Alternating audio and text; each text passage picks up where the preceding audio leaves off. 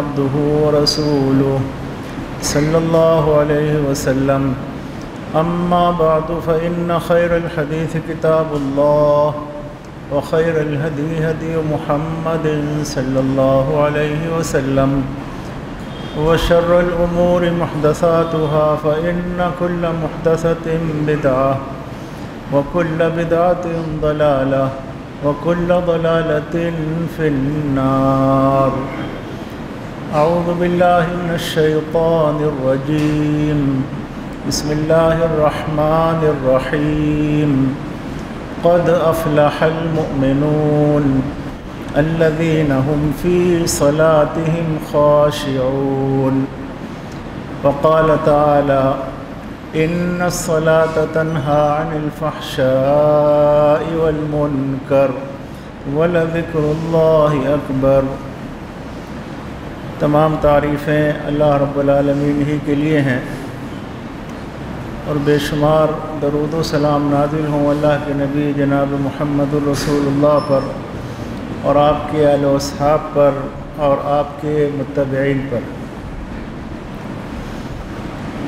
ये बात हर मुसलमान जानता है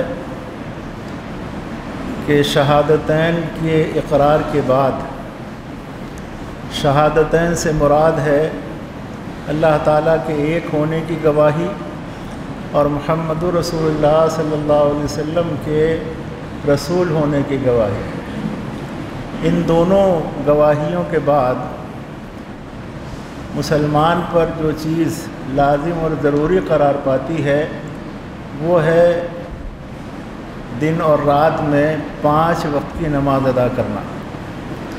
यानी रोज़ाना पाँच वक्त की नमाज़ अदा करना, ये हर उस शख्स पर लाजिम और ज़रूरी है जिसने अल्लाह ताला की वहदानियत का इकरार कर लिया है और मोहम्मद रसूलुल्लाह सल्लल्लाहु अलैहि वसल्लम की रिसालत को तस्लीम कर लिया है। इसीलिए नमाज़ को जिसे अरबी ज़बान में सलात कहते हैं। सबसे बड़ी इबादत और सबसे अहम और बड़ा फरीज़ा करार दिया गया है। कुरान मजीद की जो आयतें मैंने पढ़ी हैं, इनमें नमाज़ ही का ज़िक्र अल्लाह ताला ने किया है। और नमाज़ के बारे में फरमाया वह ज़िक्र अकबर। ये अल्लाह ताला का सबसे बड़ा ज़िक्र है। तो नमाज़ सबसे अहम फरीदा है, सबसे अहम इबादत है और ऐसी इबादत है कि जिसमें बंदा अपने खालिक के सामने खड़ा होता है और उससे मुनाजात करता है, उससे हम कलाम होता है।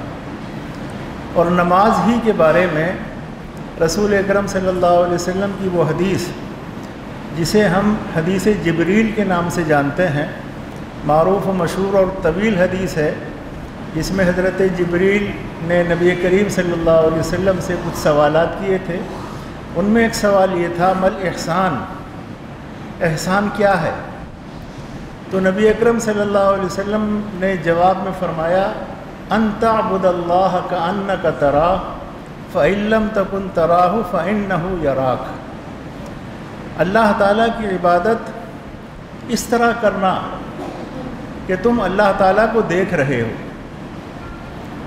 और अगर ये कैफियत पैदा नहीं होती तो ये तो जान लो कि अल्लाह तुम्हें देख रहा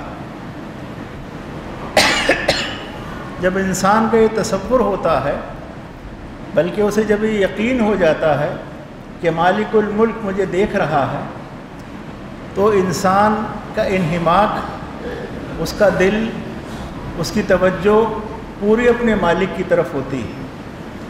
और उसकी इबादत को उसके सामने खड़े होकर अप, अपनी आजिज़ी और इनकसारी को बहुत अच्छे अंदाज में आदमी पेश करता। है नमाज़ ऐसी है इबादत कि बंदा अल्लाह ताला के सामने खड़ा है। अब अल्लाह के सामने खड़ा है और अल्लाह उसे देख रहा है। और ये कैफियत अगर पैदा हो जाए तो क्या कहने? कि हम अल्लाह ताला को देख रहे हैं यानी उसकी उसका करम उसका फजल उसकी इनायात हमारे पेश नज़र हैं तो इस नमाजी के क्या कहने और ऐसी नमाज़ के क्या कहने आज हम में से बहुत सारे लोग अल्लाह की तौफीक से नमाज़ पढ़ते हैं। और बड़ी तादाद ऐसी भी है जो नमाज़ नहीं पढ़ती है। लेकिन जो लोग नमाज़ पढ़ रहे हैं, मस्जिद में आ रहे हैं, उन्हें अल्लाह ताला का शुक्र अदा करना चाहिए कि हमें ये तोफ़ी मिल रही है कि हम अपने कीमती वक्त में से कुछ वक्त अल्लाह की इबादत के लिए, फरीज़े की अदायगी के लिए मस्जिद में हाजिर हो रहे हैं। ये अल्लाह की तोफ़ी की बात है और इस पर अल्लाह का शुक्र जितना हम अदा करें वो कम है। नमाज़ के लिए हम आते हैं मस्जिद में, नमाज़ पढ़ते हैं, लेकिन हम में से अक्सर लोगों की नमाज़ें बेजान होती हैं, बेरूह होती हैं। कोई उनमें ताकत और क़वत नहीं होती। और इस बात की दलील ये है कि हमारे अंदर जो बुराइयाँ हैं, समाजी और माशरती बुराइयाँ, अखलाक़ी बुराइयाँ, वो बावजूद इसके कि हम नमाज़ पढ़ते हैं, दूर नहीं होती। कुरान मजीद का ऐलान तो ये है कि इन सलात अनिल फ़ाशा मुनकर। बिलाशुबा नमाज़ तमाम मुनकरात से, तमाम बुराइयों से रोकती है। नमाज़ पढ़ रहा है आदमी, फिर झूठ बोल रहा है। नमाज़ पढ़ रहा है, फिर तिजारत में धोखा दे रहा है। नमाज़ पढ़ रहा है, फिर ख़यानत कर रहा है। नमाज़ पढ़ रहा है, फिर लोगों को हक मार रहा है। तो ये सारी बुराइयाँ नमाज़ भी चल रही है और बुराइयाँ भी साथ साथ चल रही हैं। गालियाँ बक रहा है बदजमानी कर रहा है तहमतें लगा रहा है, चुगलियाँ कर रहा है, गीबत में पड़ा हुआ है तो नमाज़ भी हो रही है, बुराइयाँ भी साथ चल रही तो ये मुमकिन नहीं कि नमाज़ भी हो और बुराइयाँ भी साथ चलें। नमाज़ वो इबादत है जो नमाजी के अंदर से बुराइयाँ ख़त्म करती है, उसके अंदर आला अखलाक पैदा करती है। और नमाज़ वो इबादत है कि जो इंसान को मुवाहिद बनाती है तोहद परस्त बनाती है, शिरक से दूर करती है। अगर हम नमाज़ में पढ़ी जाने वाली दुआओं पर गौर करें, उनके तर्जुमे और मफहूम हमारे जहन में हो, और हम ये समझें कि हम रब्बुल आलमीन के सामने खड़े होकर क्या कह रहे हैं, क्या पढ़ रहे हैं, क्या मुनाजात कर रहे हैं तो अक़ीद तोहद का फ़हम हमें हासिल होगा। अक़ीद तोहद, अल्लाह के अलावा कोई मबूद बरहक नहीं है। अल्लाह के अलावा कोई हाकिम नहीं है, कोई मालिक नहीं है, कोई खालिक नहीं है, कोई मौत हयात का देने वाला नहीं है, कोई रोज़ी देने वाला नहीं है, कोई औलाद देने वाला नहीं है। अल्लाह की हाकमियत और अल्लाह ताला की तोहद का अकीदा नमाज़ पढ़ने से पुख्ता होता है। नमाज़ के ज़रिए तोहद सीखना तोहद के अकीदे की बारीकियों को जानना ये बहुत आसान काम है। लेकिन आज हम ये देखते हैं कि कितने ही नमाज़ पढ़ने वाले शिरक में मुबतला हैं। नमाज़ भी पढ़ रहे हैं और कब्रों के आगे भी झुक रहे हैं। हद तो यह है कि हरम बैतुल्लाह में जाने के बाद भी वो अजमेर और कलियर नहीं भूलते हैं। बगदाद उनके जहन में रहता है। वहाँ जाने के बाद भी इन अलिया को पुकारते हैं मदद के लिए। तो हरम बैतुल्लाह में जाकर नमाज़ पढ़ रहा है और उसे कब्रों के तवाफ़ याद आते हैं। कब्रों पर चढ़ाई जाने वाली शीरीनी याद आती है और उन पर चढ़ाई जाने वाली चादरें याद आती और कभी कभी तो वो बैतुल्लाह को भी मज़ार समझ लेता कि ये भी शायद किसी बुज़ुर्ग का मज़ार है। इस पर गिलाफ चढ़ा हुआ है। और ऐसे वाक़ात पेश आए हैं तो ये समझ लेना चाहिए कि आदमी की जहालत की इंतहा, पस्ती की इंतहा तो नमाज़ वो इबादत है जो हमें अल्लाह ताला के नज़दीक करती है। अल्लाह का कुर्ब हासिल होता है नमाज़ पढ़ने से और अकीद तोहद सीखता है आदमी नमाज़ के ज़रिए। आप नमाज़ शुरू करते हैं तकबीर तहरीमा से। तकबीर तहरीमा किसे कहते हैं? जो असलाहत हैं नमाज़ की, उनको याद होना चाहिए नमाजियों को। तकबीर तहरीमा, सबसे पहली अल्लाह अकबर को तकबीर तहरीमा कहते हैं। तकबीर तहरीमा इसलिए कहते हैं कि जब आदमी अल्लाह अकबर कह के नमाज़ में दाखिल होता है तो अब उस पर कई सारी हलाल चीज़ें हराम हो गई। उसके लिए खाना पीना जायज़ नहीं है। उसके लिए बातचीत करना जायज़ नहीं है। उसके लिए बीवी से कुर्बत हासिल करना जायज़ नहीं है। बहुत सारी जो हलाल चीज़ें अल्लाह ताला ने इंसान के लिए अता की हैं, वो सारी अल्लाह अकबर कहने के बाद अब उसके लिए ममनुआत में शामिल है। इसलिए तकबीर तहरीमा, ये नमाज़ के फ़राइज में से है। अगर कोई शख्स अल्लाह अकबर के बजाय कोई और कलेमा इस्तेमाल करे तो उसकी नमाज़ नहीं होगी। ये मसला इत्तफाक़ी है इजमाही है। मसलन कोई आदमी फ़ारसी में कहने लगे, खुदा बुजुर्गस्त ये तर्जुमा है अल्लाह अकबर का तो उसकी नमाज़ नहीं होगी। कोई आदमी उर्दू में कहने लगे, अल्लाह सबसे बड़ा है ये कह के नमाज़ शुरू करे तो नमाज़ नहीं होगी। अल्लाह अकबर कहकर नमाज़ में दाखिल होना ये ज़रूरी है। अल्लाह अकबर। इससे हमें क्या सीखने को मिलता है? ये बज़ाहिर एक मामूली छोटा सा कलमा है। अल्लाह अकबर, अल्लाह सबसे बड़ा है।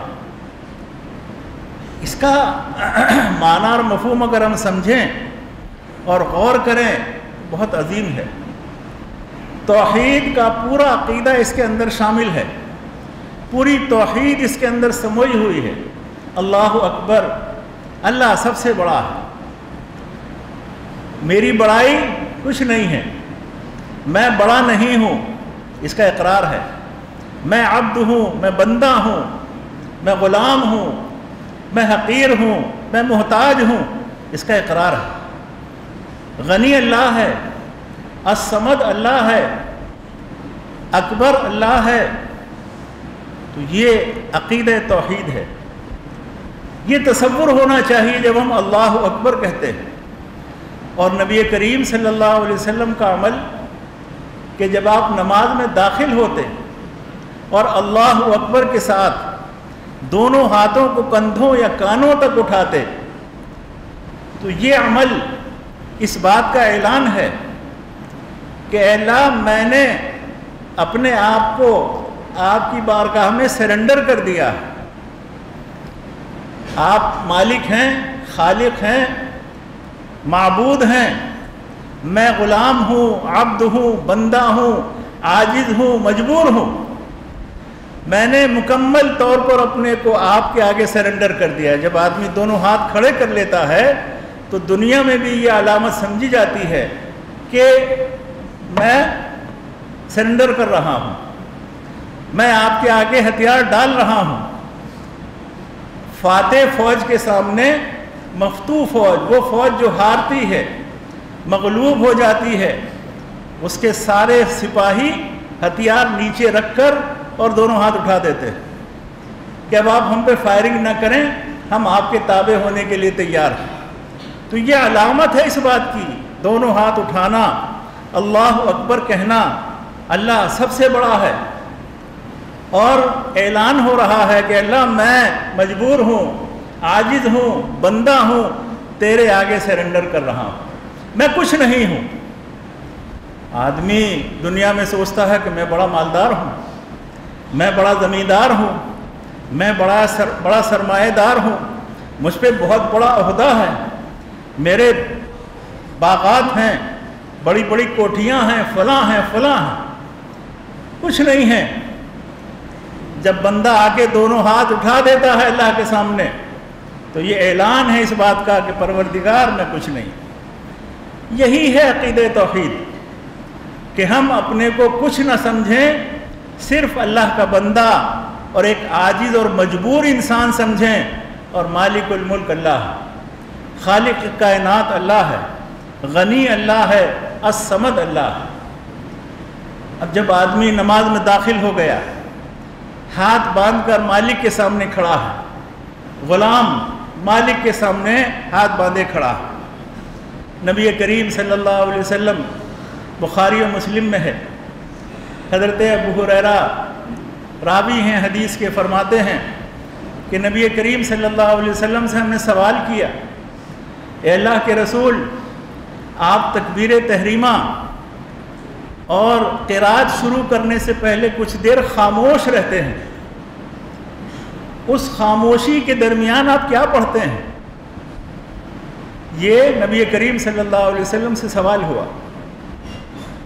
अल्लाह के नबी सल्लल्लाहु अलैहि वसल्लम ने फरमाया, मैं पढ़ता हूँ अल्लाह बाइद बैनी व बैन ख़ताया कमा बात मशरक़ी वल ये नजरात को याद नहीं है, वो याद करें इस दुआ को। और सुनकर मैं पढ़ रहा हूँ, बाइद बैनी व बैन ख़ताया मेरी ख़ताओं और मेरे दरमियान दूरी पैदा फरमा दे। दूरी पैदा फरमा दे। कितनी दूरी? बैन मशरक़ी वल मगरब। जितनी दूरी मशरक़ व मगरब के दरमियान है। मेरे और मेरी ख़ताओं के दरमियान इतनी दूरी फरमा दे। कमा बात तबैन मशरक़ वल मगरब। अल्लाह नक्नी कमा नक़त सऊबल अब मिनदनस अल्लाह, मेरी ख़ताओं को, मेरे गुनाहों को धो दे। जिस तरह कपड़े से मैल कुचैल दूर किया जाता है, इस तरह मेरे गुनाहों को धो दे। अल्लाह मनक्नी मिनल ख़ताया कमा नक़त सऊबल अब मिनदनस अल्लाह मगसिल ख़ताया बिलमा वसलजी वलबरद अल्लाह, मेरे गुनाहों को धो दे पानी से, बारिश से, ओले से, मेरे गुनाहों को धो डाल। इस पूरी दुआ में रसूलुल्लाह सल्लल्लाहु अलैहि वसल्लम अपनी ख़ताओं और गुनाहों और ख़ताओं को अल्लाह रब्बुल आलमीन से धोने की दरख्वास्त करते हैं। ज़ाहिर है सल्लल्लाहु अलैहि वसल्लम तो मगफूर थे, ख़ता से पाक थे। अल्लाह के नबी सल्लल्लाहु अलैहि वसल्लम ने उम्मत को तालीम दी कि तुम इस तरह अल्लाह की बारगाह में दुआ करो। अपने ख़ताओं को, अपने गुनाहों को की माफ़ी के लिए इस अंदाज में अल्लाह की बारगाह में दुआ करो। तो नबी करीम सल्लल्लाहु अलैहि वसल्लम ने हमें इस दुआ के ज़रिए अक़ीद तोहद सिखाया है। अल्लाह की वहदानियत का अक़ीदा सिखाया है और ये बताया है कि बंदा किस तरह अल्लाह रबालमीन की बारगाह में अपने गुनाहों की माफ़ी मांगे। तो ये पहली ही दुआ हमें तोहद का अक़ीदा सिखाती है कि हम फरियाद किससे करें? अल्लाह ताला से करें। फरियाद किसी बंदे से ना करें। फरियाद किसी मुर्दे से न करें। किसी कब्र वाले से ना करें, कितनी ही, कितना है बड़ा कुब्बा उसकी कब्र पे क्यों ना बना। कोई सुनने वाला नहीं है। कोई फरियादों को सुनने वाला नहीं है। फरियाद अगर कोई सुनता है तो रब्बुल आलमीन है, अहकमुल हाकिमीन है, वो सुनता है। एक दूसरी दुआ भी है, जो हम तकबीर तहरीमा के बाद पढ़ते हैं या पढ़ सकते हैं। इमाम तिरमिज़ी ने और इबन खुजैमा ने उसको रिवायत किया। है सुबहानकल्लाहुम्मा व भी हमदी का व तबारा कसम का व ताला जद्दू का वला गैरुक। बहुत प्यारी दुआ। अल्लाह ताला की हमदो सना। है अल्लाह रबालमीन की शान में तस्वीर की तालीम दी गई है। सुबहानक अल्लाहुम्मा व बिहमदी का व तबारा कसमु का व ताला जद्दू का वला गैरु अल्लाह, तमाम तर पाकिजगियाँ तेरे ही लिए तो हर ऐब से तेरी ज़ात पाक है और कुल हमद और तारीफ़ तेरे ही लिए है और तमाम बरकतें तेरे ही नाम मुबारक में हैं। और तेरी ही शान ऊँची है व तला जद्दुक। तेरी ही शान ऊँची है, वला इलाहा गैरुक। तेरे अलावा कोई मबूद बरहक नहीं है। तोहहीद सिखाई जा रही तेरे अलावा कोई मबूद बरहक नहीं ये मफहूम, ये तर्जुमा, इस दुआ के पढ़ते हुए हमें अपने जहन में रखना चाहिए। आप यकीन मानिए, अगर नमाज़ की दुआओं का मफहूम हमें मालूम होगा तो नमाज़ में लुत्फ आएगा। नमाज़ में मज़ा आएगा, दिल लगेगा। फिर नमाज़ पढ़ते हुए दुकान का हिसाब याद नहीं आएगा। घर के मामलात याद नहीं आएँगे। आपस के झगड़े याद नहीं आएँगे। कि आदमी नमाज़ में खड़ा हुआ, उसने कई मसले हल कर लिए। ज़बान भी चल रही है और दिमाग कहीं और है। तो जब दुआओं का मफहूम और तर्जुमा जहन में होगा तो अल्लाह के सामने आदमी खड़ा होगा और इखलास के साथ नमाज़ पढ़ेगा। और सारी तवज्जो अल्लाह ताला की तरफ़ होगी। इसके बाद तावुज़ पढ़ता है बंदा। तावुज़। तावुज़ कहते हैं अऊदबिल्लाशैतानरजीम इसका नाम है तावुज़ उसके बाद तस्मिया पढ़ते हैं। तस्मिया कहते हैं बिस्मिल्लाहिर्रहमानिर्रहीम उसके बाद फिर सूर फातहा पढ़ी जाती है। सूर फातहा कुरान मजीद की बड़ी अजीम सूरत है और सबसे पहली सूरत। और ये ऐसी सूरत है कि जिसे नबी करीम सल्लल्लाहु अलैहि वसल्लम ने उम्मुल किताब कहा। उम्मुल किताब। किताब की माँ। किताब से मुराद कुरान मजीद है। तो कुरान मजीद की माँ है सूर फातिहा। सूर फातिहा की हर आयत का ताल्लुक़ पूरे कुरान मजीद से है और कुरान मजीद की दावत से है। अगर हम इसमें गौर करें, बंदा पढ़ता है, अल्हम्दुलिल्लाह रब्बिल आलमीन। अर्रहमानिर्रहीम। मालिक यौमिद्दीन। इय्याक नअबुदु व इय्याक नस्तईन इहदिनस सिरातल मुस्तकीम सिरातल अलैहिम गैरिल अलैहिम वलद्दाल्लीन ये पूरी सूरह फातिहा है। इसके बारे में मुस्लिम शरीफ में एक हदीस है, बहुत प्यारी हदीस है, उसको सुन लीजिए। अन अबी हुरैरत रदियल्लाहु अन्हु अन नबी सल्लल्लाहु अलैहि वसल्लम काला मन सल्ला सलातन लम यकरा फ़ीहा बि उम्मिल कुरान फ़हिया खिदाजुन सलासन फरमाते हैं हज़रत अबू हुरैरा कि नबी करीम सल्लल्लाहु अलैहि वसल्लम का इरशाद गिरामी है मन सल्ला सलातन जिसने नमाज़ पढ़ी लम यकरा फ़ीहा बि उम्मिल कुरान और उसमें उम्मुल कुरान को नहीं पढ़ा, यानी सूर फातिहा नहीं पढ़ी, फ़हिया खिदाजुन सलासन। तीन मरतबा फरमाया कि वो नमाज़ नाक़िस है नाक़िस है नाक़िस है। गैर तमाम, वो मुकम्मल नहीं है। क्या मालूम हुआ कि जिसने सूर फातिहा नमाज़ में नहीं पढ़ी, वो नमाजी कोई हो, नमाज़ पढ़ाने वाला हो कि नमाज़ पढ़ने वाला हो? इमाम हो कि मुक्तदी हो, अकेला हो, हर एक के लिए हुक्म है ये। बन सल्ला सलातन लम यकरा फ़ीहा बि उम्मिल कुरान। फ़हिया खिदाजुन फ़हिया खिदाजुन फ़हिया खिदाजुन गैर तमामिन। वो नमाज़ नामुकम्मल है, नाकिस है। सुनने वाले ने फ़कील या अबा हुरैरा, एक शख्स ने हज़रत अबू हुरैरा से सवाल किया इन्ना नकून वरा इमाम मसला बड़ा वाज हो गया कि अगर हम इमाम के पीछे हों, तब भी इन्ना नकून वरा इमाम अगर हम इमाम के पीछे हों, तब भी फरमाया, इकरा बिहा फ़ी नफसिक। हाँ आहिस्ता आहिस्ता पढ़ो। आहिस्ता पढ़ो। इमाम के पीछे हो, तब भी पढ़ना है तुम और फरमाते हैं, यकूल फरमाते हैं कि मैंने नबी करीम सल्लल्लाहु अलैहि वसल्लम को फरमाते हुए सुना है। काला फ़न्नी समियत रसूल अलैहि वसल्लम। यकूल काल अल्लाह अल्लाह के नबी सल्लल्लाहु अलैहि वसल्लम फरमाते हैं कि अल्लाह ताला फरमाता काल अल्लाह ताला कसम तुसलाह बैनी व बैन आबदी नसफ़ैन। नबी सल्लल्लाहु अलैहि वसल्लम अल्लाह का कौल बयान फरमा रहे हैं। हदीस का ये हिस्सा यहाँ से हदीस कुदसी हो गया। फरमाते हैं कि अल्लाह फरमाता है कि मैंने नमाज़ को अपने और अपने बंदे के दरमियान आधा आधा तकसीम कर दिया है। अल्लाह अकबर। कैसी नमाज़ होगी?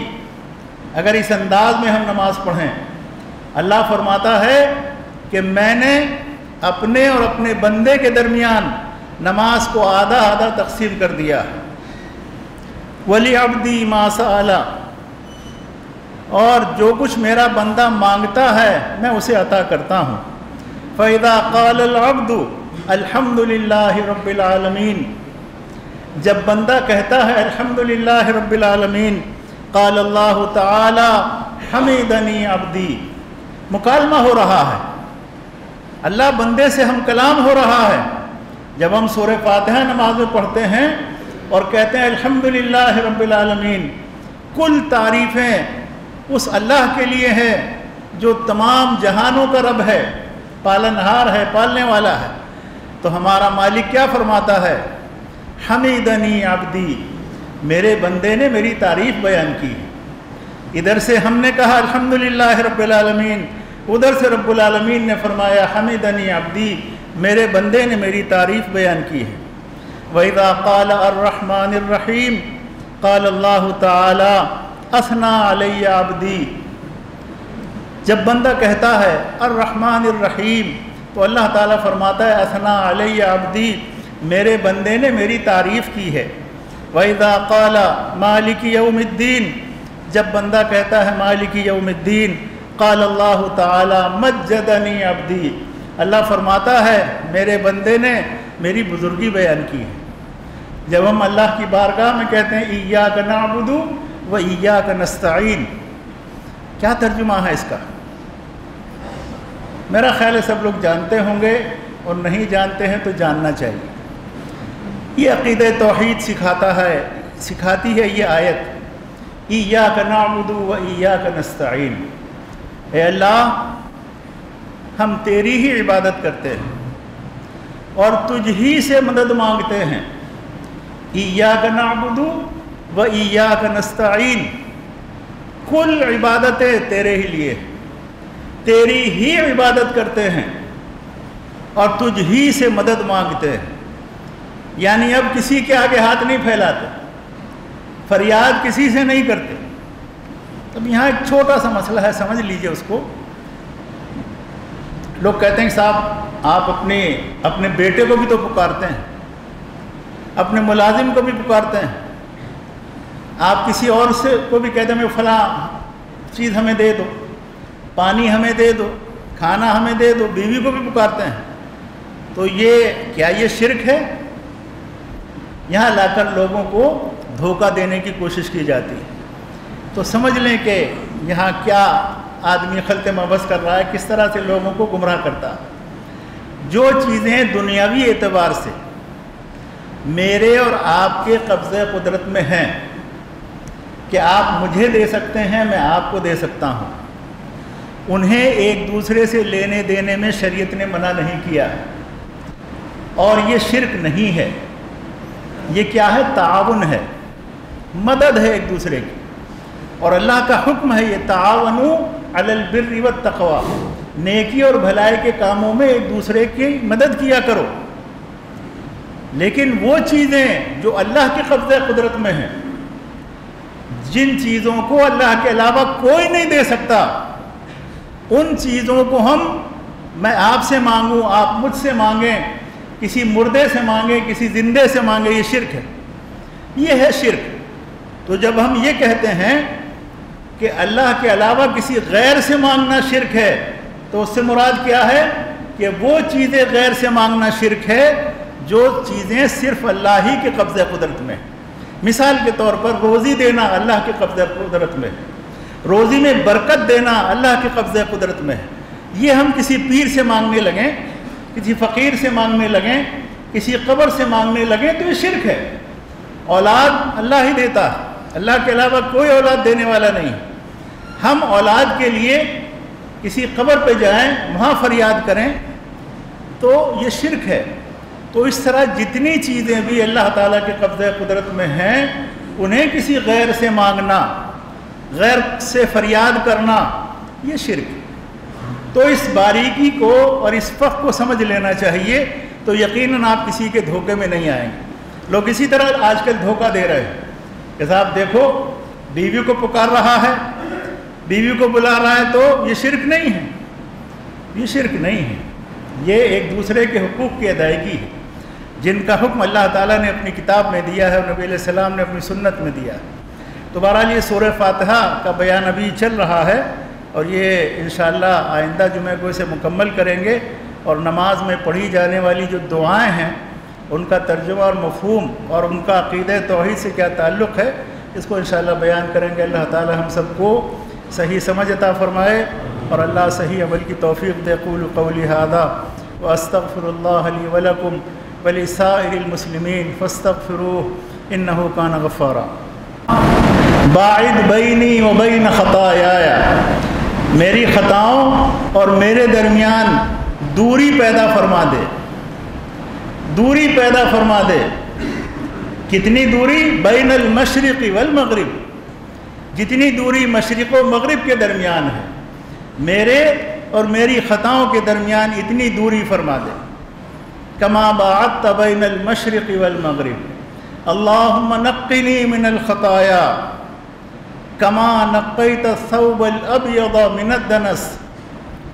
अल्लाह मेरी ख़ताओं को मेरे गुनाहों को धो दे जिस तरह कपड़े से मैल कुचैल दूर किया जाता है इस तरह मेरे गुनाहों को धो दे अल्लाह मनक्नी मिनल ख़ताया कमा नक़त सौबल अबयद मिनदनस अल्लाह मगसिल ख़ताया बिलमा वसलजी वलबरद अल्लाह मेरे गुनाहों को धो दे पानी से बारिश से ओले से मेरे गुनाहों को धो डाल इस पूरी दुआ में रसूलुल्लाह सल्लल्लाहु अलैहि वसल्लम अपनी ख़ताओं और गुनाहों और ख़ताओं को अल्लाह रब्बुल आलमीन से धोने की दरख्वास्त करते हैं। ज़ाहिर है रसूल अलैहि वसल्लम तो मगफूर थे, ख़ता से पाक थे। अल्लाह के नबी अलैहि वसल्लम ने उम्मत को तालीम दी कि तुम इस तरह अल्लाह की बारगाह में दुआ करो। अपने ख़ताओं को, अपने गुनाहों को की माफ़ी के लिए इस अंदाज में अल्लाह की बारगाह में दुआ करो। तो नबी करीम अलैहि वसल्लम ने हमें इस दुआ के ज़रिए अक़ीद तोहद सिखाया है। अल्लाह की वहदानियत का अक़ीदा सिखाया है और ये बताया है कि बंदा किस तरह अल्लाह रबालमीन की बारगाह में अपने गुनाहों की माफ़ी मांगे। तो ये पहली ही दुआ हमें तोहद का अक़ीदा सिखाती है कि हम फरियाद किससे करें? अल्लाह ताला से करें। फरियाद किसी बंदे से ना करें। फरियाद किसी मुर्दे से न करें। किसी कब्र वाले से ना करें। कितनी कितना है बड़ा कुब्बा उसकी कब्र पे क्यों ना बना कोई सुनने वाला नहीं है। कोई फरियादों को सुनने वाला नहीं है। फरियाद अगर कोई सुनता है तो रब्बुल आलमीन है, अहकमुल हाकिमीन है, वो सुनता है। एक दूसरी दुआ भी है, जो हम तकबीर तहरीमा के बाद पढ़ते हैं या पढ़ सकते हैं। इमाम तिरमिज़ी ने और इबन खुजैमा ने उसको रिवायत किया है। सुबहानकल्लाहुम्मा व हमदी का व तबारा कसम का व तला जद्दू का वला गैरुक। बहुत प्यारी दुआ। अल्लाह ताला की हमदो सना है। अल्लाह रब्बुल आलमीन की शान में तस्वीर की तालीम दी गई है। सुबहानक अल्लाहुम्मा व बिहमदी का व तबारा कसमों का व तला जद्दू का वला इलाहा गैरुक। अल्लाह तमाम तर पाकिजगियाँ तेरे ही लिए हैं। तो हर ऐब से तेरी ज़ात पाक है, और कुल हमद और तारीफ़ तेरे ही लिए है, और तमाम बरकतें तेरे ही नाम मुबारक में हैं। और तेरी ही शान ऊँची है, व तला जद्दुक। तेरी ही शान ऊँची है वला इलाहा तेरे अलावा कोई मबूद बरहक नहीं है। तोहहीद सिखाई जा रही तेरे अलावा कोई मबूद बरहक नहीं है। ये मफहूम, ये तर्जुमा इस दुआ के पढ़ते हुए हमें अपने दहन में रखना चाहिए।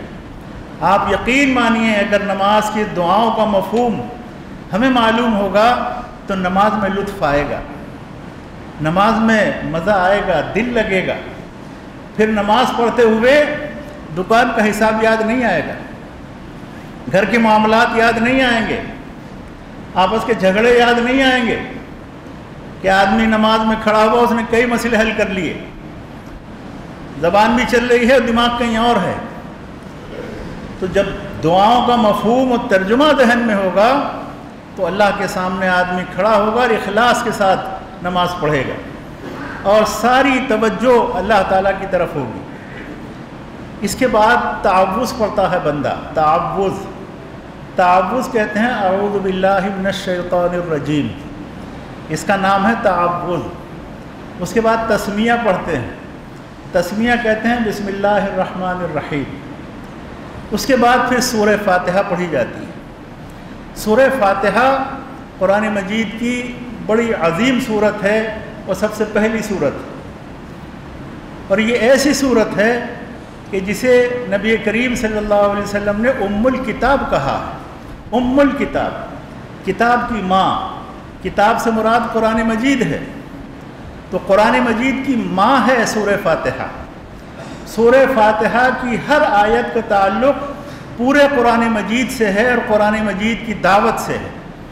अगर हम इसमें गौर करें, बंदा पढ़ता है, अल्हम्दुलिल्लाह रब्बिल आलमीन, अर्रहमानिर्रहीम, मालिक यौमिद्दीन इय्याक नअबुदु व इय्याक नस्तईन, इहदिनस सिरातल मुस्तकीम। सिरातल लदीना अनअमत अलैहिम गैरिल मगदूबि अलैहिम वलद्दाल्लीन ये पूरी सूरह फातिहा है। इसके बारे में मुस्लिम शरीफ में एक हदीस है, बहुत प्यारी हदीस है, उसको सुन लीजिए।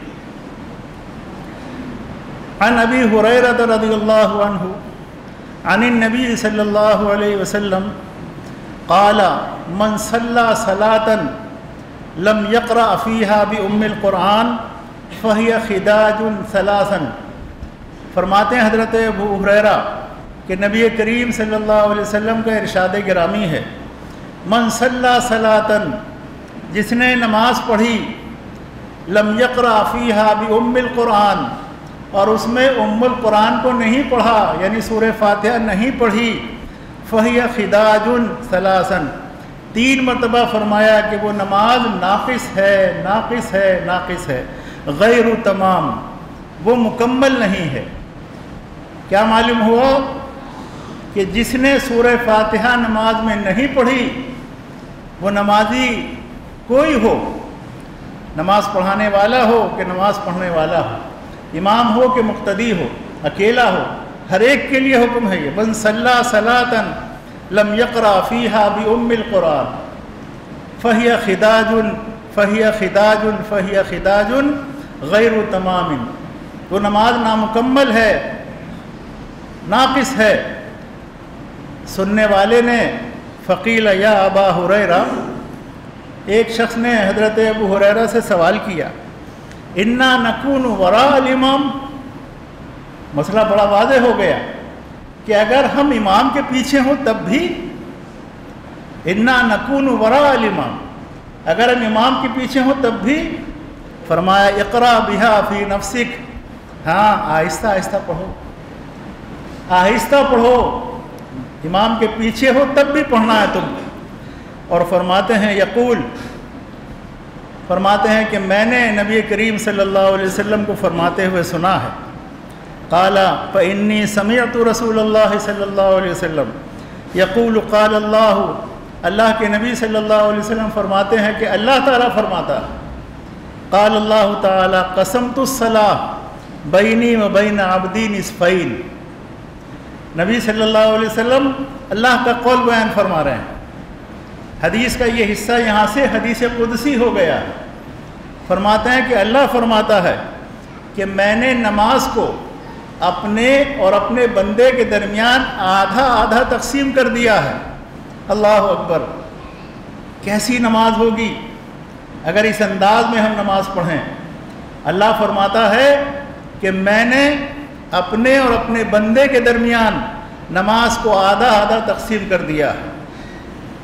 वली अब्दी मासा आला और जो कुछ मेरा बंदा माँगता है, मैं उसे अता करता हूँ।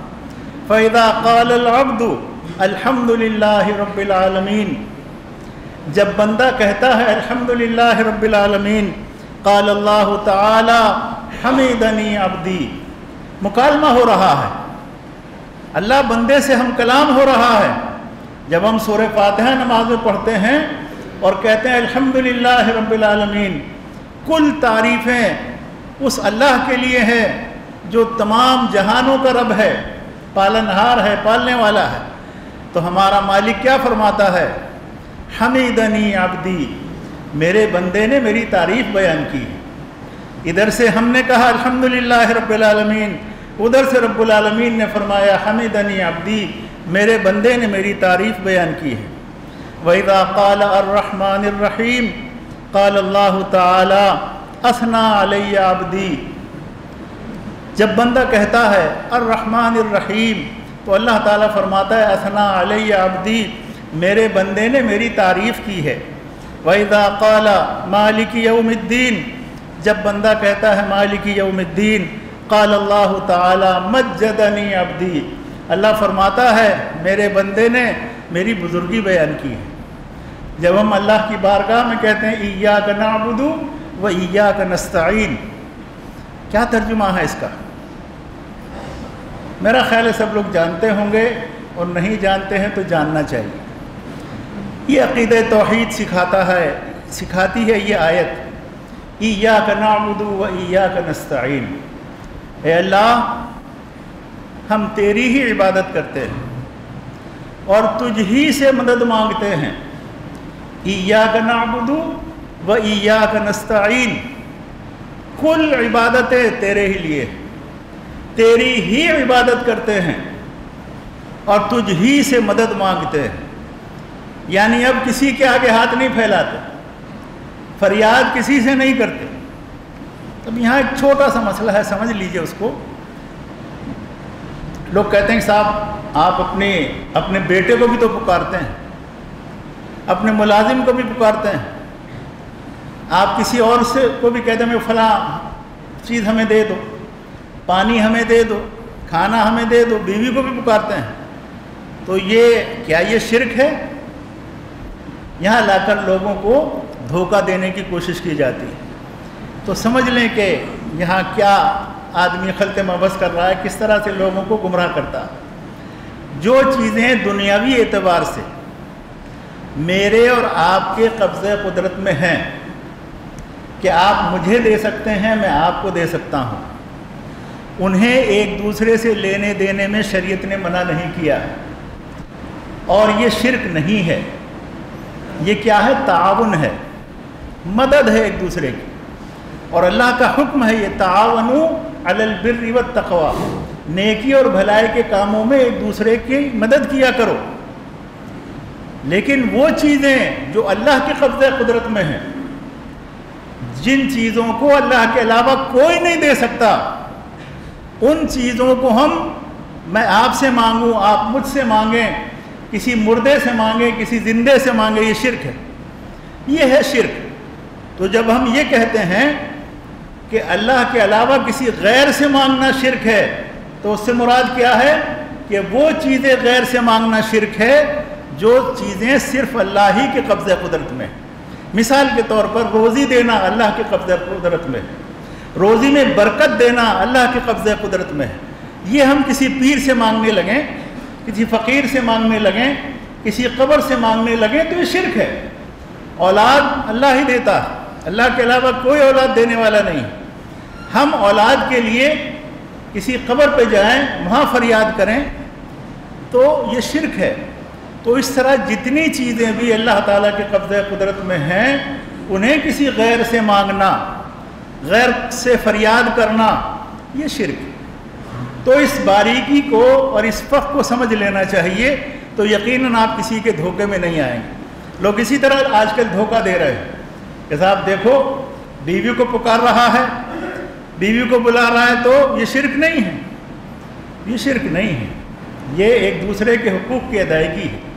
जिनका हुक्म अल्लाह ताला ने अपनी किताब में दिया है और नबी सलाम ने अपनी सुन्नत में दिया तो बहरहाल ये सूर फातहा का बयान अभी चल रहा है और ये इन आइंदा जुमे को इसे मुकम्मल करेंगे और नमाज़ में पढ़ी जाने वाली जो दुआएँ हैं, उनका तर्जुमा और मफहूम और उनका अक़ीद तोहद से क्या ताल्लुक़ है, इसको इन बयान करेंगे। अल्लाह ताली हम सबको सही समझ अता फ़रमाए और अल्लाह सही अमल की तोफ़ी देकुल कौली हादा व वलकुम वलिसाइल मुस्लिमीन फ़स्तफ़िरू